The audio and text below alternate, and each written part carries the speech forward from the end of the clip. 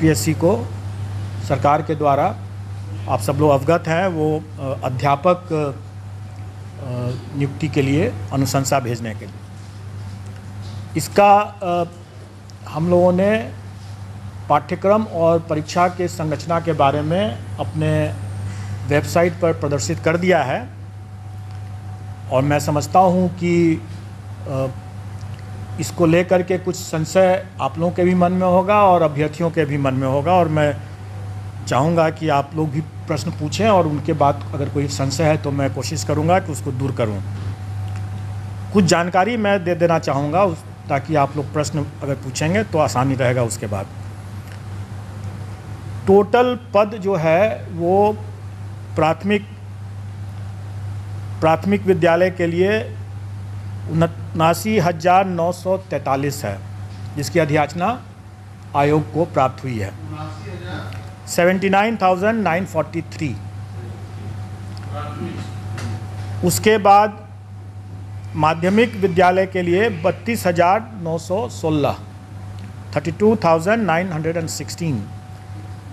और उसके बाद हायर सेकेंडरी के लिए संतावन हज़ार छः सौ दो।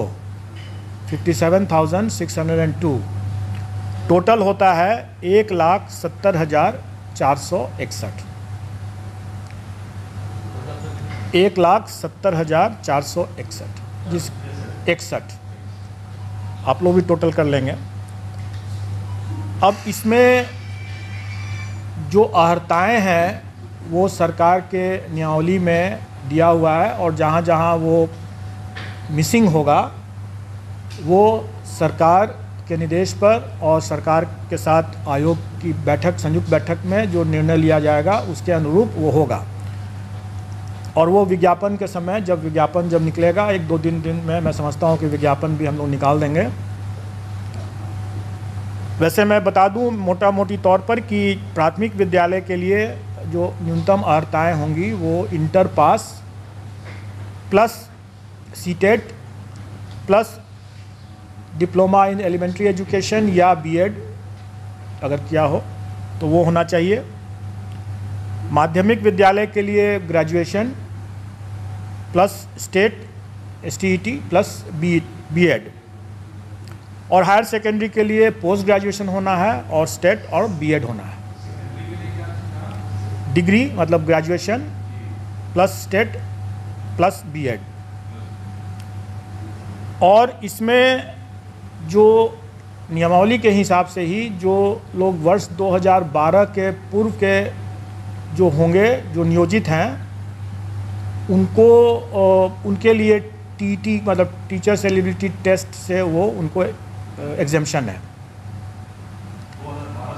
हाँ। तो ये ये हुआ, उसके अलावा फिर एज रिलैक्सेशन भी है उन लोगों के लिए, वो सारा चीज़ नियमावली में पहले से दिया हुआ है। वही चीज़ विज्ञापन में हम लोग रिपीट कर देंगे।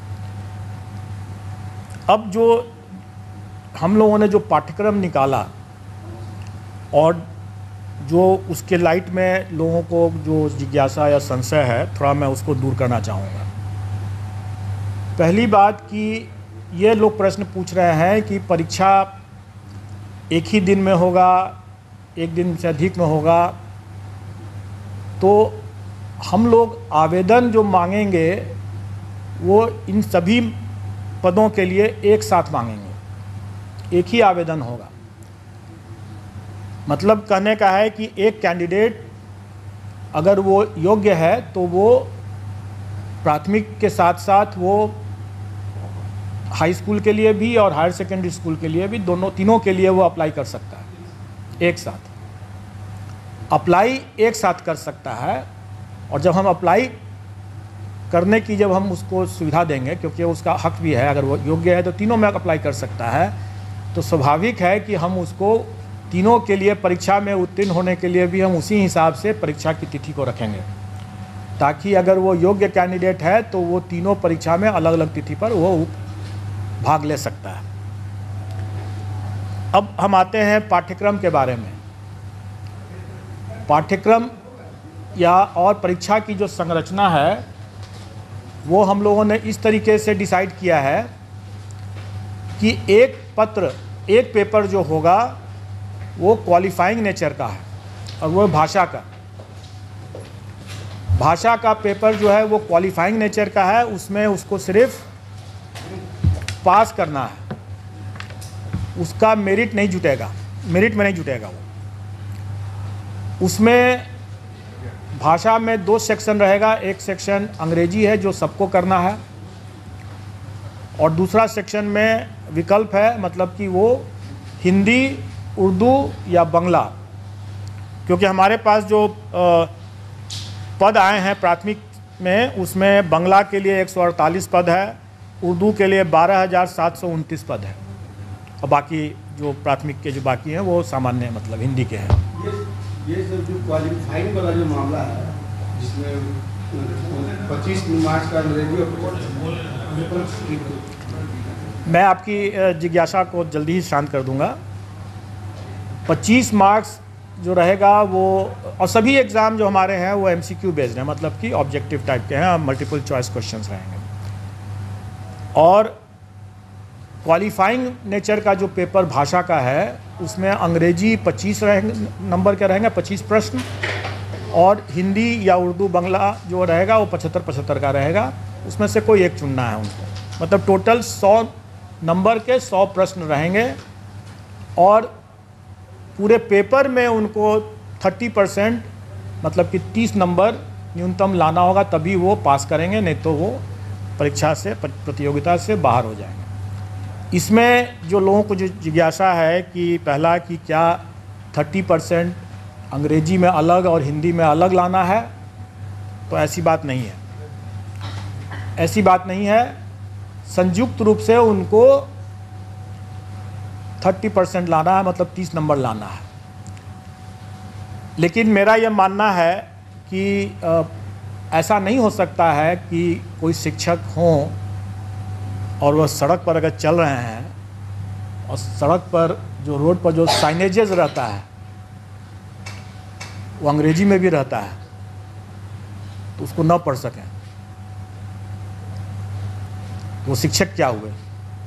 जो राह चलते हुए जो रोड के जो साइनेजेस है, उसको अंग्रेज़ी में अगर लिखा हुआ है तो उसको भी न पढ़ सके। हैं तो क्या वो अच्छी गुणवत्ता के शिक्षक हुए? इसलिए हम लोग प्रश्न के के स्तर को हम लोग इस तरह से रखें, रखने का कोशिश करेंगे कि हम उनको अंग्रेज़ी ज़रूर सरल रहेगा, कठिन नहीं रहेगा। हम मानते हैं कि यहाँ पर हिंदी भाषी प्रदेश है तो अंग्रेज़ी का प्रश्न कठिन नहीं रहेगा।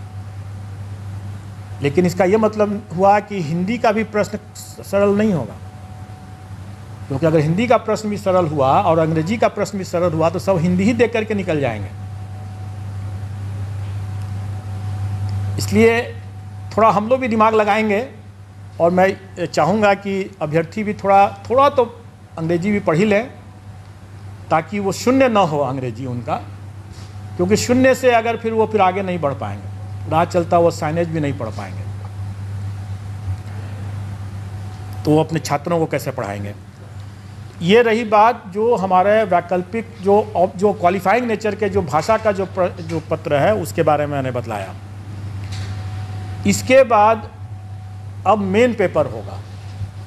मेन पेपर डेढ़ सौ नंबर का होगा जिस पर कि मेरिट होगा और हर स्कूल के कैटेगरी के लिए एक ही मेन पेपर है। जैसे प्राथमिक के लिए सिर्फ़ एक मेन पेपर है। अगर हम हाई स्कूल के लिए जाते हैं तो उसके लिए भी एक ही मेन पेपर है। और अगर हम इंटर के लिए भी इंटर स्कूल के लिए भी जाते हैं मतलब सेकेंडरी हायर सेकेंडरी स्कूल के लिए जाते हैं तो उसके लिए भी एक ही मेन पेपर है। एक एक ही पेपर उसके बाद देना है और वो अगर कोई अभ्यर्थी अगर तीनों श्रेणी के लिए अप्लाई करता है तो स्वाभाविक है कि उसको फिर तीनों पेपर देना होगा। अलग अलग दिन होगा, लेकिन देना होगा तीनों फिर। मेरिट लिस्ट अलग अलग बनेगा, क्योंकि सबके लिए अलग अलग वो परीक्षा है। अब रही बात कि जो भी डेढ़ सौ नंबर का जो मेन पेपर हुआ, उसका कंपोजिशन इस तरह से रहेगा कि सौ क्वेश्चंस तो रहेंगे, वही जो वो अपने विद्यार्थियों को पढ़ाते हैं। उसका टॉपिक उसका चैप्टर उसका विषय, वो वही होगा जो अपने बच्चों को पढ़ाते हैं स्कूल में। इसलिए अगर ये जिज्ञासा है कि उसका हम सिलेबस में विस्तार करके दें तो मेरा ये कहना होगा कि बिहार एग्ज़ामिनेशन बोर्ड का जो सिलेबस है बच्चों के लिए, उसी को देख लें। उसी को पढ़ लें, चैप्टर उसी के हिसाब से कंप्लीट कर लें, उनका डिटेल सिलेबस हो जाएगा। अगर मान लें कि अगर कोई फिजिक्स का देखता है या कोई हिंदी का देखता है तो जो अगर कोई इंटर का अगर है वो विषय तो इंटर में जो पढ़ाई होती है एक फिजिक्स के स्टूडेंट के लिए उसका वही रहेगा। चैप्टर कंटेंट्स वही रहेगा। प्रा, प्राथमिक विद्यालय में भी अगर जो बच्चों को जो पढ़ाते हैं शिक्षक वो वही रहेगा कंटेंट वही चैप्टर्स वही रहेंगे मतलब सिलेबस का जो विस्तार डिटेल सिलेबस की जो लोग मांग कर रहे हैं वो करना ज़रूरत नहीं है क्योंकि अगर उसको देखना है तो अपने बिहार एजुकेशन बोर्ड का सिलेबस बच्चों का उठा कर देख लें और उसी की पढ़ाई कर लें। अब रही बात कि शिक्षक हैं वो, बच्चों से उनका ज्ञान ज़्यादा होना चाहिए, बच्चों से उनका स्तर ज़्यादा होना चाहिए, तभी तो पढ़ा पाएँगे। तो स्वाभाविक है कि प्राथमिक शिक्षक के के लिए जो अभ्यर्थी होंगे, उनका चैप्टर तो वही होगा जो बच्चों को पढ़ाने वाला है। लेकिन उसका स्तर जो होगा, वो बच्चों वाला तो नहीं होगा। उनका स्तर जो उनका उनके लिए जो जैसे प्राथमिक शिक्षक के लिए न्यूनतम निर्धारित योग्यता जो है, वो इंटर है। तो उसी के आलोक में प्रश्न पत्र का स्तर होगा। चैप्टर तो वही हुआ जो प्राथमिक विद्यालय में जो पढ़ाते हैं। लेकिन उसका जो स्तर जो होगा, वो उनके जो न्यूनतम निर्धारित योग्यता मतलब इंटर जैसे है तो उसी को ध्यान में रख करके होगा कि इंटर पास एक अभ्यर्थी स्कूल प्राथमिक विद्यालय के बच्चों को पढ़ाएँगे तो उनको क्या ज्ञान होना चाहिए? जो भी विषय वो पढ़ाएँगे, उसके लिए उनका क्या ज्ञान होना चाहिए, क्या स्तर होना चाहिए, वो उसी के आलोक में रहेगा।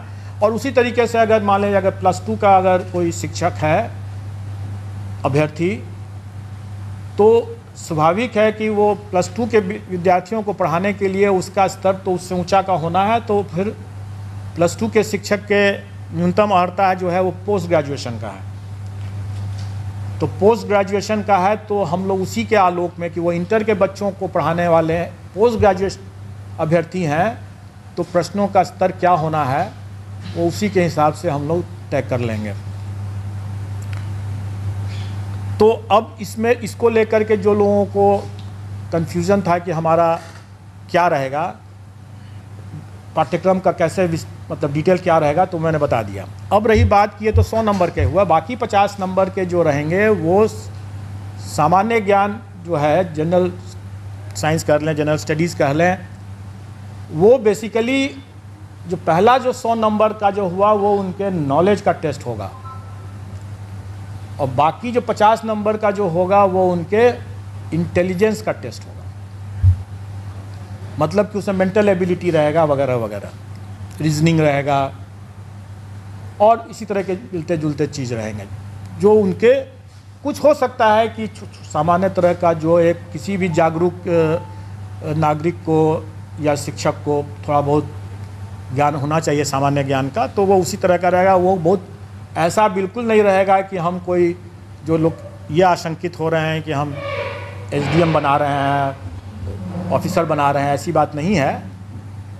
वो भी लोक सेवक ही होंगे और जो एसडीएम जो हैं, वो भी लोक सेवक ही होंगे और किसी भी एक लोक सेवक को एक जो सामान्य ज्ञान का जो स्तर होना चाहिए, इसका स्तर उतना ज़्यादा नहीं होगा, जो कि स्पष्ट है।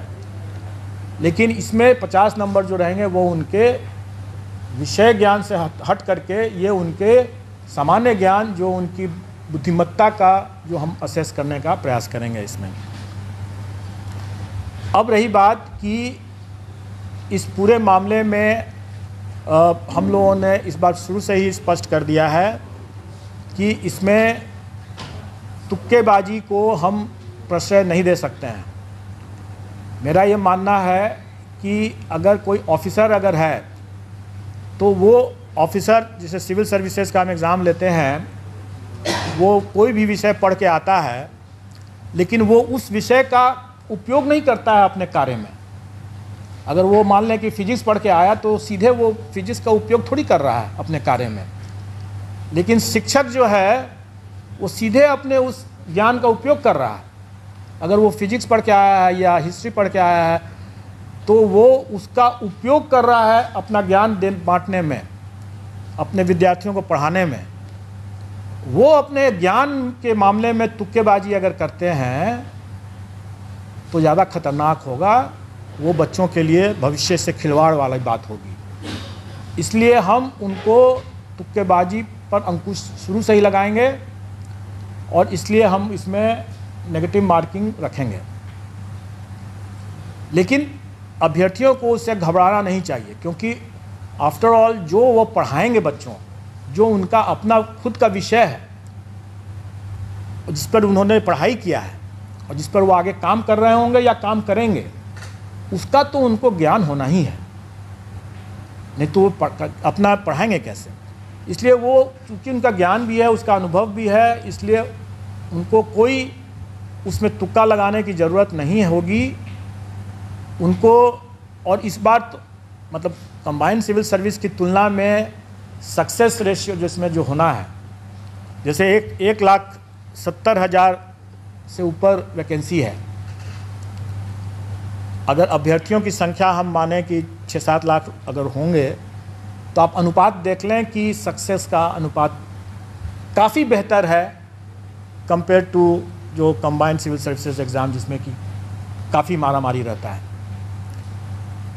तो इसमें उतना घबराने की ज़रूरत नहीं है। प्रश्न का स्तर जो होगा, वो कठिन नहीं होगा, लेकिन डेफिनेटली वो एक तरह से बहुत हल्का भी नहीं होगा। वो उनके जो काम जो करेंगे, जो पढ़ाएँगे, उसको, उसके ही आलोक में उसका स्तर होगा।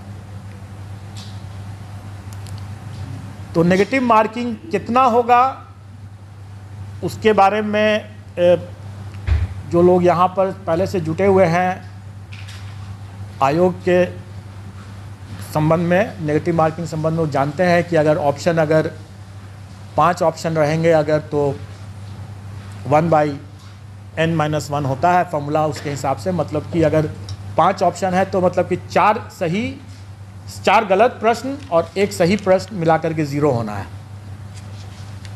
पाँच ऑप्शन है तो तो वन फोर्थ हो जाएगा। और अगर चार ऑप्शन है तो वन थर्ड माइनस हो जाएगा। ये स्टैंडर्ड स्टैटिस्टिकल फॉर्मूला रहता है, और इसका निर्णय हम लोग कर देंगे, और वो परीक्षा में भी उन लोग पता चल जाएगा।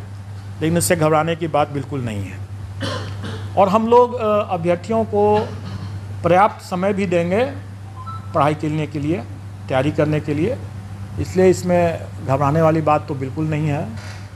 और अनुपात, जो सक्सेस का अनुपात इतना बेहतर है, मैं समझता हूँ कि जो अगर थोड़े से भी जो लोग पढ़ा रहे होंगे, ठीक से पढ़ा रहे होंगे तो उनके लिए कोई दिक्कत नहीं होनी चाहिए। आ जाएँगे इसमें।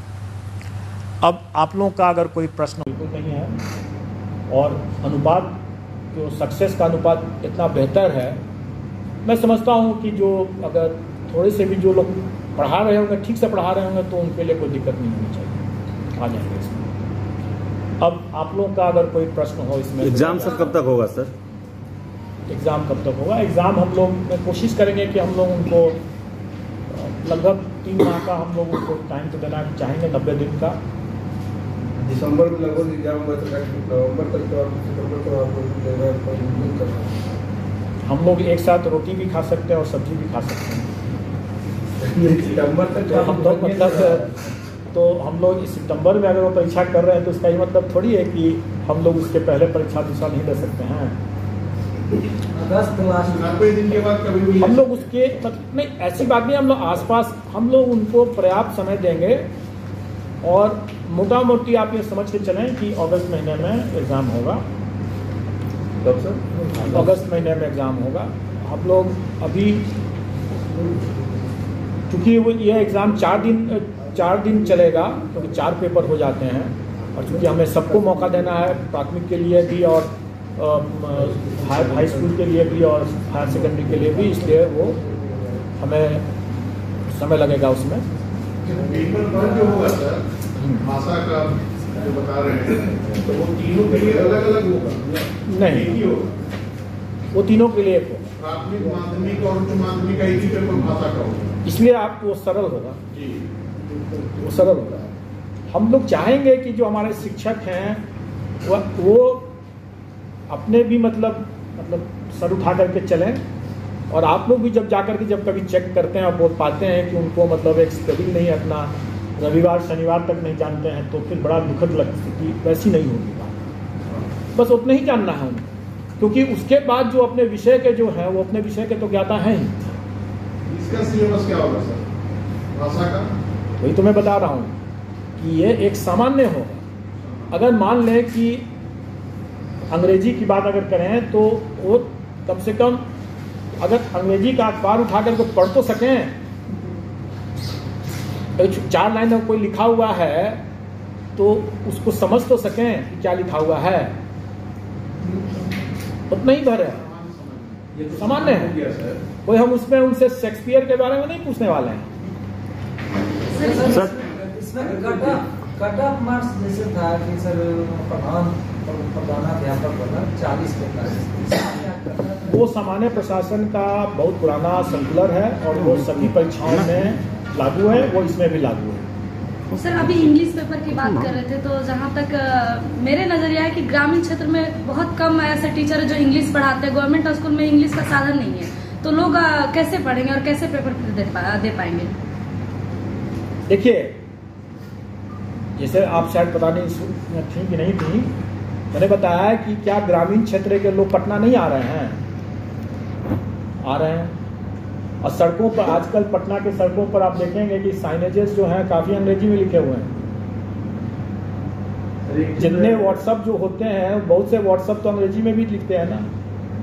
सीनियर टीचर्स जो हैं कोई एक एक अगर हम हम भा- बिहार के भविष्य के लिए बात कर रहे हैं। हमारे बच्चे क्या उनकी सीमाओं से बच्चे की भी जानकारी या उनका जो ज्ञान जो है बाधित हो जाए? नहीं होना चाहिए।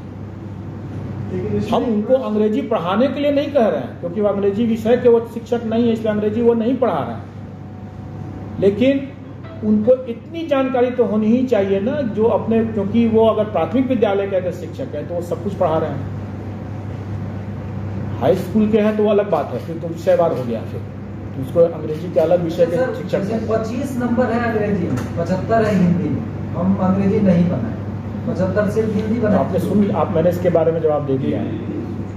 मैंने इसके बारे में जवाब दे दिया है इसलिए आप उसको आप समझ लें। तो सर एक चीज़ है सर किसमें कहा जा रहा है सर? जो बीएड और ये सब का जो क्वालिफिकेशन रखा गया है, वो ट्रेनिंग से रिलेटेड क्वेश्चन क्यों नहीं सर रखा गया है सर? गुड क्वेश्चन मैं बता दूँ कि आप जो तीनों स्तर के, क्योंकि अभी मेरे पास मध्य विद्यालय की वैकेंसी नहीं आई है, इसलिए मैं मध्य विद्यालय के बारे में नहीं बता रहा हूँ। अभी कुछ तय नहीं हुआ है उसका जब आएगा तो उस समय देखा जाएगा। लेकिन अभी जितने भी स्तर लेवल के विद्यालय के शिक्षकों के बारे में मामला है, सब में देखेंगे कि अनिवार्य अर्हता में सीटेड एस्टेड ये है, या बी एड डी है। ऐसी स्थिति में उन परीक्षाओं में प्रशिक्षण संबंधित कैसे पेडागोजी जो कहते हैं, उसके संबंध में या चाइल्ड डेवलपमेंट के बारे में ऑलरेडी उसकी परीक्षा वो टीचर्स एबिलिटी टेस्ट में दे चुके हैं। तो अब फिर से उसी चीज़ के अगर हम लेने लगे हैं तो फिर आप ही लोग कह कहेंगे कि जब उसमें जब ले ही चुके हैं तो फिर इसमें भी वही चीज़ ले रहे हैं तो नई परीक्षा की क्या ज़रूरत है? नई परीक्षा की ज़रूरत इसलिए है क्योंकि जो जो अभ्यर्थी अभ्यर्थियों की संख्या अगर छः लाख है और अगर हम उसमें से एक लाख सत्तर हज़ार ही को हमको अगर लेना है तो स्वाभाविक है कि हम मेरिट बेस्ड ही हम सिलेक्शन प्रोसेस करेंगे। अब रही बात कि पेडागोजी जो है या चाइल्ड डेवलपमेंट सी डी को कहते हैं चाइल्ड डेवलपमेंट पेडागोजी की बात जो कहते हैं, ये ऐसा चीज़ है जिसके लिए वो पहले से एलिजिबल हो, अपना वो अपनी पात्रता पहले से प्रमाणित कर चुके हैं। दूसरी बात कि ये ये ये ऐसा मामला है कि वो भविष्य में कि वो टी टी करके आए हुए हैं वो जब स्कूल में जब जाएँगे वहाँ भी और भी अनुभव ज्ञान कर अभी हासिल करेंगे। उनका उसमें निखार आना ही है। उस पर हमको एक बार जब एल टेस्ट कर चुके हैं उस बिंदु पर तो दोबारा हमको उसी बिंदु पर उसकी परीक्षा लेने का कोई मतलब नहीं है। सर पहले होगा उसके बाद ये भाषा वाले में अब जनरल तो हो गया इंग्लिश और हिंदी दोनों होना चाहिए लेकिन अगर कोई बंगला का स्टूडेंट है या उर्दू का स्टूडेंट है उसके लिए क्या वो भाषा का क्या वही तो मैं बताया ना कि Hindi oblique Urdu oblique Bangla Hindi oblique अगर प्रश्न पत्र बाइलिंगुअल रहेगा या हिंदी केवल देखिए प्रश्न पत्र जो हमारा जो जो सब्जेक्ट का जो रहेगा वो बाइलिंगुअल रहेगा। लेकिन नेचुरली अगर वो अगर हिंदी का प्रश्न अगर है एक का पेपर है तो हिंदी में ही सिर्फ़ रहेगा अगर इंग्लिश का है तो फिर उसमें हिंदी तो नहीं रहेगा। ये एक उर्दू वाले ये मदरसा वाले जो लैंग्वेज का जो विषय का जो जो पेपर रहेगा वो उसी लैंग्वेज में रहेगा। तो वो बाइलिंगुअल नहीं रहेगा। ये डीईपी को लेके बिहार में जो अब तक परीक्षाएँ हुई है इसमें महिलाओं को विशेष छूट दिया गया है कि 85 परसेंट उनके लिए 85 मार्क्स है तो क्या वो छूट आप जारी रखेंगे या फिर जो 90 का है? देखिए, जो मिनिमम क्वालिफाइंग जो कट ऑफ़ है, वो सरकार के द्वारा पहले से निर्धारित है। उसमें महिलाओं के लिए अलग है, सामान्य के लिए अलग है। वो उसका पूरा आप लोग को ज्ञान होगा। हमारे पाठ्यक्रम में भी वो कम परसेंटेज लिखा हुआ है। अब रही बात कि सरकार ने इस बार जो नियमावली जो बनाया है, उसमें प्राथमिक विद्यालय के शिक्षकों के लिए में शिक्षकों के पद पर महिलाओं के लिए आरक्षण जो है पचास परसेंट पचास परसेंट अन्य में तीस परसेंट या पैंतीस परसेंट पैंतीस परसेंट प्राथमिक में पचास और अन्य में जो पहले से है वो सही है और प्राथमिक विद्यालय के केस में पचास परसेंट आरक्षण महिलाओं के लिए। सर ये जो एग्ज़ाम जो दो एग्ज़ाम होंगे तो क्वालिफाइंग एग्ज़ाम पहले होंगे।